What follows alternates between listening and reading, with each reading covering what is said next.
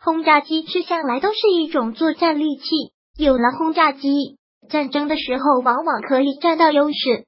相反，没有轰炸机的话，作战就会变得很被动了。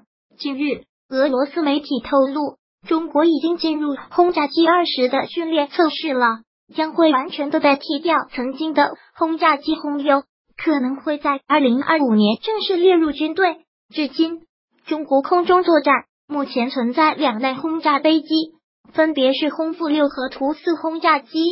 其中，图四是上世纪的时候苏联提供给我们中国的。早在六十年代后，苏联就已经不再使用图四了。然而，中国却一直使用轰六，也就是图四的升级版。直到八十年代，轰六相对于图四是一款改装配置过后的轰炸机。虽然各项性能都有所提升，但是它的基本构架设计还是没有很大的变化。俄罗斯媒体还称，中国从无到有的设计战略的轰炸机，并且保留了国外先进的构架设计，在原有的基础上科技创新，这样是一个非常好的实践方案。当然，这样的设计也会带来一些隐患，比如时间期限问题。轰炸机二十虽然很厉害。但是构造复杂，所以要生产的话，需要花费大量的时间。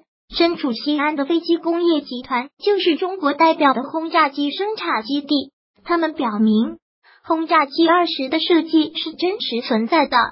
轰炸机二十飞行性能平稳，续航能力强大，射程远达五千公里，并且还有很强的隐身技术。但是目前面临着的问题是。轰炸机二十的构造复杂，如果想要扩大飞机的生产，这将是一个巨大的困难。因此，轰炸机二十的计划不是一个短期的方案，而是要长远考虑。这些轰炸机将会在二零二五年之后才会开始生产，所以我们想要看到轰二十的话，还得等到二零二五年之后了。作为中国自己的轰炸机。想必大家都很期待吧。